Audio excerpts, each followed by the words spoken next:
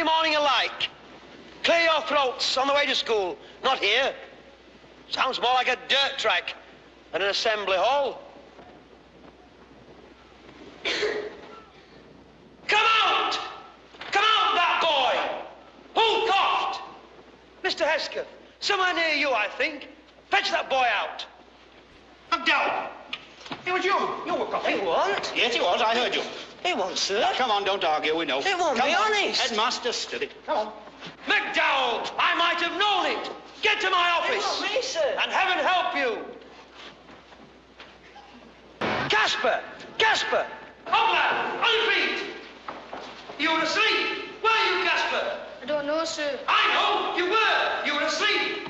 Why were you asleep, you irreverent scoundrel? Don't know, sir. I know why. You're roaming the streets at night instead of being home in bed. See me in my office afterwards. I'll give you something to sleep about. Sit. Here are the announcements. A reminder that the Youth Employment Officer will be here this afternoon to meet the Easter leavers. Your parents should have been told. But if any boy has forgotten or thinks that his parents may wish to attend his interview, then he can consult the list on the main notice board for the approximate times.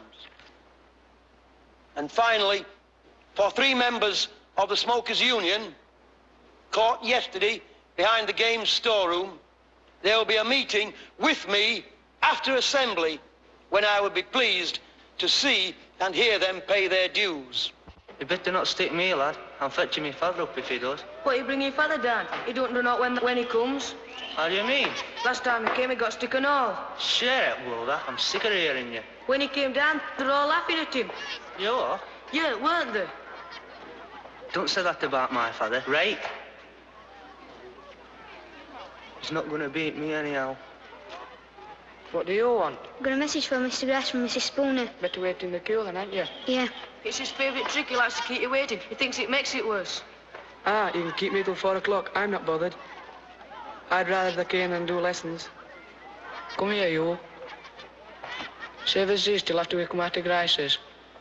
I can't still think I'm a smoker as well. He'll not search you, but he'll search us, and if he finds a man, we'll get two extra.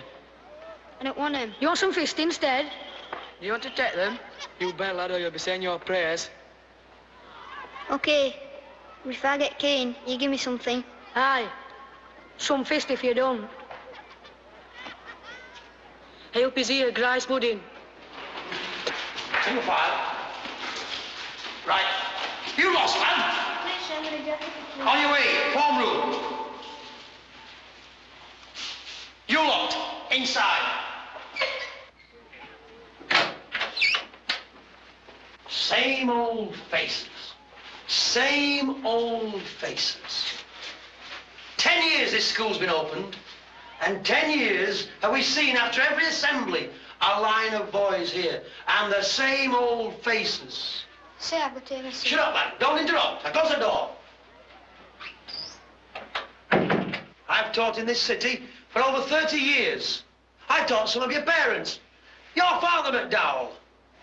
In the old slum schools in the city, before they built this fine estate and this wonderful school. Things are no better now than they were then. I just can't understand this generation. I thought I knew something about young people.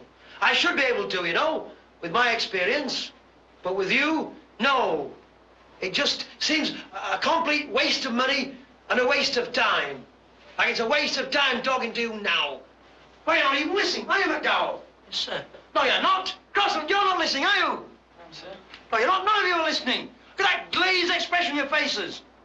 You never listen. Yours is the generation that never listens. Because we can never tell you anything. You're the sophisticated ones. With all your music and your gear. But you know, it's superficial.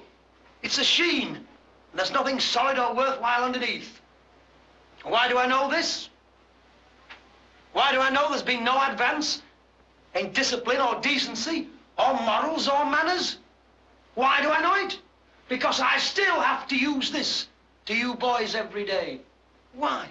In the 20s and 30s, I could understand it. They were hard times, but they produced qualities in people that you lot will never have. I can be stopped in the street by someone I taught then. And we'll talk about the old days. And we'll laugh about the thrashings that I gave him. But what do I get from you lot? A honk from a greasy, pimply-faced youth sitting at the wheel of a big second-hand car. I don't know. I just don't know. No guts, no backbone, nothing to commend you whatsoever. Mere fodder for the mass media. And so, until someone produces a better solution, I'll continue to use this cane, knowing fully well that you'll be back for it time and time and time again. You smokers will go out of here with your hands ringing. But will it stop you smoking? You're already looking forward to smoking at break? You lot, what are you grinning about? Not grinning, sir. You are? Ah, I bet you're already thinking about smoking at break. Empty your pockets. They're loaded with cigarettes. Come on, all of you, empty your pockets. Please, sir, um, Quiet, lad, empty your pockets. sir, you don't understand. Empty your pockets, lad. Disgusting. Please, sir, you. You again? You again? Sir. Empty your pockets. But, sir, I've brought a message. Empty your pockets. I don't believe it. I don't believe this. Empty your pockets, lad. Empty your pockets and you're told. Come on, lad. Ah. A regular little cigarette factory, aren't you? Sir.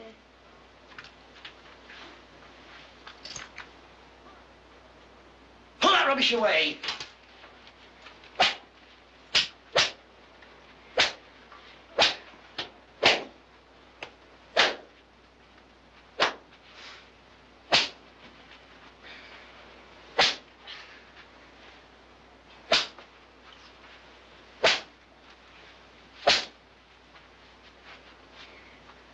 Now, I hope it's going to be a lesson to you. I don't suppose for one minute it will be. I don't doubt before the end of the week you'll be back in here again for exactly the same crime, smoking. Perhaps once in a while it might sink in Sir. that you're wasting your money, that it's your money that you're burning, and it's your hands that get caned when you come in here. Good morning, and to the gladiators. Have you been? Good to see Mr. Gryce, sir. In for the stick? Sir. How many oh. did you get? Two. Did Not, Not bad. Not. Hope it didn't.